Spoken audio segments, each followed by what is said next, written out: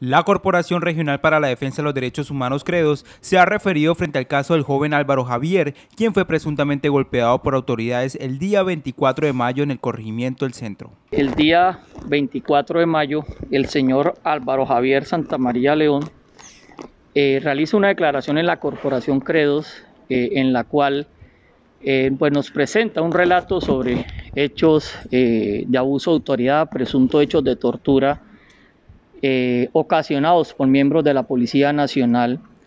Él relata ser líder social, eh, habitante eh, de, la vereda Los Laureles. Defensores de derechos humanos y el área jurídica de esta organización hacen el acompañamiento a la víctima quien le fue vulnerado su derecho. Creo realiza, recibe perdón, esa declaración.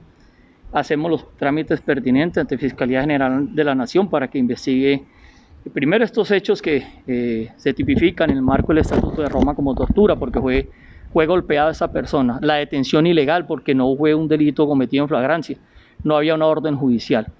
Segundo, eh, notificar lógicamente al Ministerio Público, Procuraduría General de la Nación, en su poder preferente, eh, a Personería Municipal, a la Defensoría del Pueblo, para que en la coadyuvancia y las investigaciones frente a esos hechos realizados. Asimismo, la corporación entregó un informe del año 2020-2021 sobre el reporte de los casos por abuso de autoridad en el marco de las protestas sociales. Es inexplicable que en el 2020, en el marco de la pandemia del COVID-19, eh, fueron más de 10, 12 denuncias que por, sí, aquí en Barranca Bermeja por abuso de autoridad, atropellos, eh, uso excesivo de la fuerza, eh, uso desmedido de la Policía Nacional y en el marco eh, del paro nacional ya tenemos varios, varios casos que superan los 10, 15 casos de abuso de autoridad.